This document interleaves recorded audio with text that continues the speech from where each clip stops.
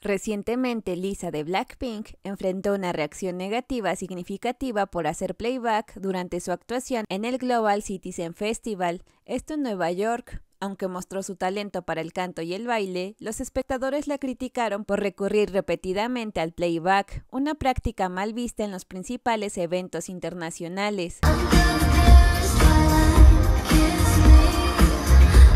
X antes Twitter, los internautas expresaron su decepción e incluso la etiquetaron como la reina del playback, mencionando que si iba a hacer tanto playback, que al menos lo practicara, ya que era vergonzoso así como otros dijeron que su rap estaba bien, pero su voz es débil y que ella no estaba cantando en absoluto en el medio de la canción, pero había sonido. Por el contrario, la actuación de Jungkook de BTS en el mismo evento en el 2023 está recibiendo elogios y comentarios, ya que en septiembre de 2023 Jungkook se convirtió en el primer idol solista del K-pop en actuar en este festival.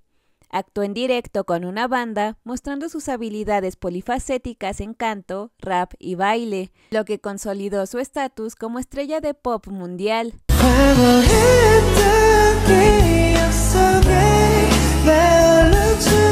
Si bien Jungkook recibió elogios generalizados, la actuación de Lisa generó un debate sobre si estaba preparada para una carrera pop en solitario, y muchos sugirieron que necesita mejorar su voz en vivo para obtener la aprobación total del público. A pesar del apoyo de sus fanáticos, las habilidades de Lisa como artista solista siguen bajo escrutinio.